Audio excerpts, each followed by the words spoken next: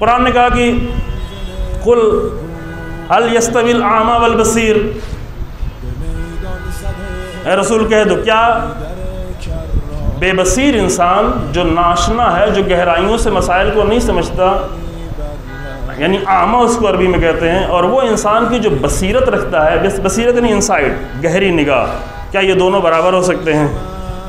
چونکہ جو بے بصیرت انسان ہے، وہ فرق نہیں سمجھ پاتا۔ وہ ہر دعوت میں چلا جاتا ہے۔ وہ ہر آواز کو سننے کے لیے پہنچ جاتا ہے۔ وہ ہر تقریر بے بصیرتی، بے شعوری کی سب سے بڑی نشانی یہ ہے کہ جب دو متضاد، کچھ چیزیں ہوتی ہیں جو ملتی جلتی جب جو متضاد چیزیں پیش کی جائیں تو اس کو دونوں میں فرق محسوس نہ ہو، اس کو دونوں اچھی لگ رہی ہوں۔ دونوں ایک جیسی۔ یعنی اس بات پر بھی واہ واہ کر رہا اس بات پر بھی واہ واہ کر رہا جبکہ دونوں متضاد ہوں، دونوں آپس میں ٹکرانے والی ہوں۔ یا امریکن اسلام ہو، اس پر بھی واہ واہ کرے، حسینی اسلام ہو، اس پر بھی واہ واہ کرے۔ وحدت کی باتیں کی جائیں، اس پر بھی واہ واہ کرے۔ تفرقے کی باتیں کی جائیں، اس پر بھی واہ واہ کرے۔ ابھی میں تفرقے کو یہاں پہ روکوں گا نہیں، بات یہاں پہ شاید اگر ضرورت ہے بات میں چونکہ بہت ضروری مسئلہ بنا ہوا ہے ابھی۔ دونوں پر واہ واہ کرے۔ یہ علامتیں ہیں۔ یہ پہچان ہے کہ جب متضاد چیزیں یہ بہت بڑی پہچان متضاد چیزیں پیش کی جائیں تو دونوں پر وہ ایک جیسا ریئیکشن دکھا رہا ہو۔ لہٰذا قرآن نے آ کر بار بار مثال دے کر کہا کہ اتنی تم پریکٹس کرو، اتنا بار بار اسے پڑھو کہ یہ تمہارے لیے مہارت بن جائے۔ یہ تمہارے لیے اس کو اپنی زبان میں، حوضے کی زبان کہتے ہیں، ملکہ بن جائے۔ یہ تم اتنے ایکسپرٹ ہو جاؤ اس مسئلے میں کہ جب بھی تمہارے سامنے دو ملتی جلتی چیزیں، لیکن اندر سے دونوں میں جدائی ہے سامنے پیش کی جائے تم فوراً فرق کر لو کہ یہ اسلام اور ہے، یہ اسلام اور ہے، یہ شیعت اور ہے، یہ شیعت اور ہے۔ حل یستوی العامہ والبصیر؟ ام حل تستوی الظلمات والنور؟ مثالیں قرآن نے کہ کیا تاریکی اور سایہ برابر ہو سکتے ہیں؟ کیا نور اور تاریکی یہ دونوں برابر ہو سکتے ہیں معذرت کے ساتھ۔ نور اور تاریکی برابر ہو سکتے ہیں۔ نہیں ہو سکتے۔ ایک آیت تو جو آپ ہمیشہ آپ سب کو یاد ہوگا۔ حل یستوی الذین یعلمون اب یہ تو پڑھیں۔ والذین لا یعلمون زمانہ بڑھ رہا ہے، چونکہ یہ آیتیں ایسی ہوتی تھی جو پہلے مجموعہ ہمارے سب کو یاد رہتی تھی انشاءاللہ آپ کو بھی یاد ہو تکلف میں صرف نہیں پڑھ رہے حل یستوی الذین یعلمون والذین لا یعلمون؟ کیا جاننے والے اور نہ جاننے والے برابر ہو سکتے ہیں؟ جاننے والے کو جا کر ڈھونڈے قرآن کہتا ہے جو جانتا ہو۔ نہ یہ کہ جو جاننے والے کا لباس پہن لے، یہاں پر شعور چاہیے ہے۔ جاننے والے کا لباس پہن کر کوئی بھی آ سکتا ہے، جاننے والے کو ڈھونڈو کہ جانتا کون ہے؟ کیا یہ دونوں برابر ہو سکتے ہیں؟ قرآن نے کبھی بھی یہ نہیں کہا کہ دو لوگوں، ایک جو عالم کا لباس پہنے ہوئے، ایک جو عالم کا لباس نہ پہنے، اس کے درمیان فرق کرو، یہ برابر ہو سکتا نا، وہ تو معلوم ہے۔ ایک امامہ لگائے ہوئے، ایک ٹوپی پہنے ہوئے ہے ایک ممبر بھی یہ تو پتہ ہے، سب کو پتہ ہے۔ قرآن کا نہیں، یہ نہیں۔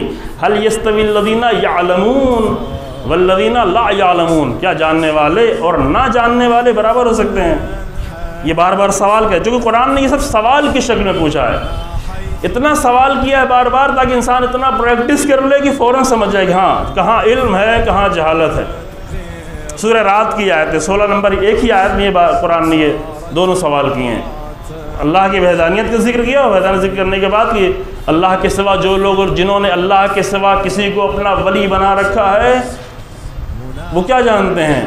یہ بے بصیرتی کی وجہ سے یہ جہالت کی وجہ سے ہے۔ پھر بعد میں اس کے بعد قرآن نے اور آگے مثال بڑھائی ہے۔ میں زیادہ اس کو روکنا نہیں چاہتا تاکہ بعد کی دوسری آیتیں پیش کر سکوں۔ اس کے بعد سترہ نمبر آیت میں قرآن نے ایک نمونہ بھی پیش کر دیا کہ اللہ وانزلہ من السماء مان فسالت اودیت بقدرها اللہ آسمان سے پانی نازل کرتا ہے اور جب بارش ہوتی ہے تو وادیاں بہہ نکلتی ہیں۔ وادیوں میں پانی پہنچتا ہے، وادیاں بہنے لگتی ہیں۔ جب تیز وادیاں بہتی ہیں تو اس کے اوپر جھاگ آ جاتی ہے۔ یہ مثال میں بہت ساری جگہوں میں دیتا رہا، جو بہت ہی اہم مثال ہے اور بہت سارے مسائل حل کرتی ہے۔ میں صرف ایک مسئلے کی طرف یہاں آپ کو متوجہ کرنا چاہتا ہوں۔ جب تیز بارش ہوتی ہے، کل یہاں پہ تیز بارش ہوئی، شاید آپ نے دیکھا ہو۔ جب بہت تیز بارش ہوتی ہے اور تیز پانی بہتا ہے، تو پانی بہنے کے ساتھ ساتھ اوپر اس کے کف، کیا کہتے ہیں آپ یہاں پہ کف کہتے ہیں؟ جھاگ کہتے ہیں؟ بولے نا، تاکہ ہمیں لگے کہ بیدار ہے جھاگ آ جاتی ہے۔ قرآن نے یہ مثال دی۔ کہ یضرب اللہ الحق والباطلا پھر ان کے باری تفصیل بھی اس کی بیان کی. اسی طرح کہا کہ جب سونا پگھلایا جائے، چاندی پگھلایا جائے ہیلیا بنانے کے لیے، زیور بنانے جب پگھلایا جائے، تو پتہ نہیں پگھلتے ہوئے آپ نے کبھی دیکھا ہے کہ نہیں؟ دیکھا ہے؟ جا کے کبھی دیکھیں۔ سونا جب پگھلایا جا رہا ہو کچھ بنانے کے لیے، تو سونا بالکل نہیں دکھائی پڑتا۔ ذرا بھی سونا دکھائی نہیں پڑے گا۔ سب جھاگ جھاگ دکھائی پڑے گی اوپر۔ سونا نیچے ہوگا۔ یہ دو مثالیں قرآن دینے کے بعد کہتے کدا علی کا یدرب اللہ الحق والباطل. اللہ اس طریقے سے حق اور باطل کی مثال پیش کرتا ہے کہ اما اما زبد و فیض و جفان، یہ جو باطل ہے یعنی جھاگ، یہ بہت جلدی چلی جائے گی۔ دیکھنے میں وہی دکھ رہی ہے، سونا نہیں دکھ رہا ہے، سونا چھپا ہوا ہے۔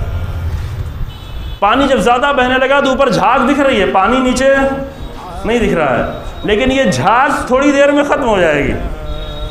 وَأَمَّا مَا يَنْفَوْ بَهِ النَّاسِ اور وہ چیز کی جو انسانوں کو فائدہ پہنچانے والی ہے، وہ زمین میں جا کر ٹھہر جائے گی۔ سونا نیچے ٹھہر جائے گا۔ پانی زمین میں جا کے ٹھہر جائے گا۔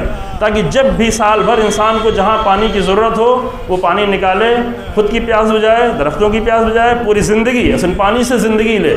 لیکن یہ جھاگ سے نہ پیاس بجھے گی، نہ پاکیزگی ہوگی، نہ تہارت ہوگی، نہ زندگی ہوگی، نہ حیات ہوگی۔ یہ فقط جھاگ ہے۔ یہ جھاگ تھوڑی دیر کے لیے ہے۔ تھوڑی دیر شور ہوگا، غل ہوگا، ہنگامہ ہوگا، لیکن علم نہیں ہوگا، صرف جھاگ ہوگی۔ چونکہ علم میں حیات ہے۔ جھاگ میں تو نہیں ہے۔ کف میں تو حیات نہیں ہے۔ وہ چیز جو باقی رہ جانے والی ہے، وہ ہے انسان کی پیاس بجھانے کے لیے۔